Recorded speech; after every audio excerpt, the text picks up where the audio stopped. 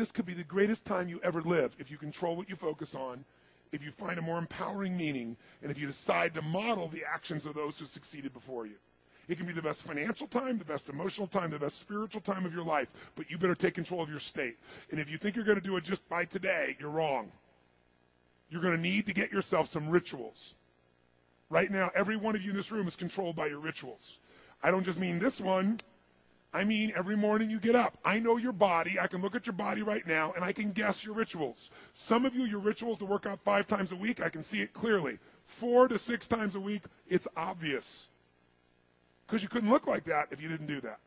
Some form of workout. I don't care if it's walking, lifting, whatever. Some of you, it's obvious that lifting weights is part of it. You can see by that man's muscles. I know, I know what his rituals are. Because your life comes from your rituals. If you don't develop the ritual, you're kidding yourself. How many agree with me on this? Raise your hand. Say I. And there are rituals that put you in state, and there are rituals that take you out of state. You have rituals in your relationship. You have rituals with your body. You have rituals around your finances. And the rituals that worked in the reaping time of fall in the markets and in business and in real estate, those rituals won't work now. If you do the right thing at the wrong time, you get pain. I'll say that again. If you do the right, you go, but Tony, I'm doing the right thing, but I'm not being rewarded. If you do the right thing at the wrong time, you don't get rewarded, you get pain. So you better do the right thing at the right time. And to do that, you better know what season you're in. And to do that, you better learn how to change your state how to take control of your own conditioning. That's what I live for. Does this make sense to you? Yes or no? Come on, guys. Yes or no? So now it's time to train yourself to do that. I'll show you how fast it can change. Try this just for a second. I want to show you what you can do with just focus. Try this for a moment. I'm going to give you a test. Sit up in your chair with some energy. Make sure your buddy next to you is in a strong state. If otherwise, adjust their state. Come on, change their physiology. What do they got to do? See if they're ticklish. That might help. Now do this. I want you to look around this room right now and find everything in this room that you can find that is brown as fast as you can. Look for brown, look for brown, look for brown, look for brown. Look around you, look for brown, look for brown, look for brown. Okay, close your eyes. I'm going to give you a test. With your eyes closed now, shout out loud everything you saw that was red. If you see a lot more brown right now than red, say yes. Open your eyes. Look for red now. I want you to really look for red. Look for red. Look for red. Look for red. Anything you can find that's red, look for red. All around you, look for red. Raise your hand if you found more red this time and say I. Why did you find more red this time? Because seek and you shall. That's right. Whatever you focus on, you're going to find it. In fact, let me tell you something. You'll even find it when it's not there. How many saw burgundy called it red just so you could have more things you counted? Raise your hand. Say, aye. Come on. See, whatever you're looking for, you're going to find. So if you want to change your life, my friends, you've got to change your physiology and you've got to change your focus.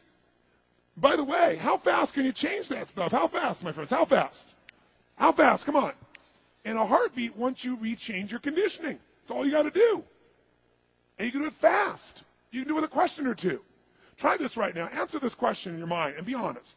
What in your life today, if you wanted to be, could you feel proud about right now? If you wanted to feel proud, if you didn't feel like, I shouldn't be proud, if you wanted to feel proud, what could you be proud of in your life today? Your children, your health, your body. Is there a problem you faced? Instead of running from it, you finally stepped up and handled it? What could you feel proud of in your life today if you wanted to feel proud? How many can think of something? And when you think about this thing you're proud of, what about that makes you feel proud? What do you focus on that makes you feel proud? How do you breathe when you really start to feel proud? What's the kind of look on your face that starts to happen when you let yourself feel proud? Yeah. How's that feel? Hmm. Think of another area of life. Think of an area of your life that you're grateful for. Or if you go, I'm not grateful. If you wanted to be grateful, what's an area you could feel grateful for? What could you feel grateful for if you really wanted to feel grateful?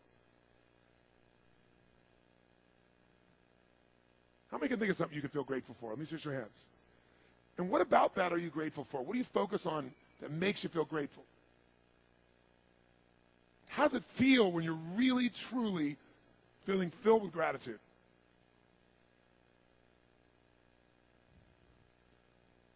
Here's one. If you wanted to be excited about your life right now, and you were willing to be excited, you were willing to buck everybody else's trend, what could you feel excited about in your life if you wanted to feel excited? What could you get excited about if you really focused on it and you really took it in? And you weren't in a negative place. What could you get excited about if you wanted to be excited in your life? What could you get excited about? How many of you can think of something you feel excited about right now? Raise your hand. Let me see your hand. Say I. When you're really excited about it, what about that excites you? Or when you're really excited, how do you feel? How do you speak? What's your life like? By the way, when you're excited, does it tend to touch other people? Yes or no? Absolutely. By the way, do people have a tendency, by the way, who feels different right now than just even a couple moments ago? Raise your hand and say, I. Why? Because focus is controlled by questions. If you ask a different question continuously, not once, continuously, you will get a different answer. If you ask a lousy question, you get a lousy answer and a lousy state. Somebody says, Why does this always happen to me? It doesn't always happen to you, but the brain's like a computer. Ask it a question, it'll have to come up with an answer because you deserve it, you idiot. Someone will say, How come I can never lose weight? You can lose weight, but if you keep saying, How come I can never lose weight? the brain's got to come with an answer. It goes, You're a pig.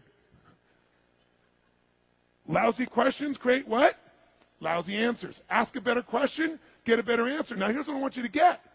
I want you to get that you can change your state. How fast, guys? How fast? How fast? And if you get the habit of doing it, you'll have a different life.